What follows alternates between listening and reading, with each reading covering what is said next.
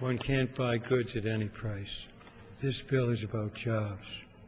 I now yield one minute to the gentleman from Ohio, Mr. Boccieri. Gentleman's recognized. Thank you, Mr. Speaker. The American people are watching. While we may wear different jerseys, we're supposed to be playing for America. And this vote today is about whether we're going to stand up and fight for Americans. Just last week, the Chinese government ordered all our domestic manufacturers who are building cars in China to turn over all their battery technology. Ohio, who has 25% of her economy based on the automotive industry, cannot afford to stand on the sideline as countries like China, China refuse to play by the rules. Critics believe that this legislation could start a trade war. America is already in a trade war, and the question is, is whether the U.S. government is going to show up for the fight. Enforcing the agreed upon trade rules is not protectionist. In fact, the Chinese practices like currency manipulation and illegal subsidies are protectionist.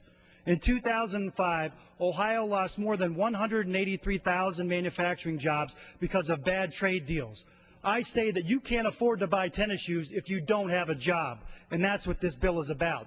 The past two years alone, workers from nine local companies in my district received trade adjustment assistance as a, as a result of bad trade deals.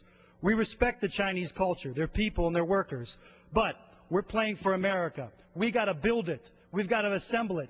And we've got to manufacture it here in our country. We can't be the movers of wealth.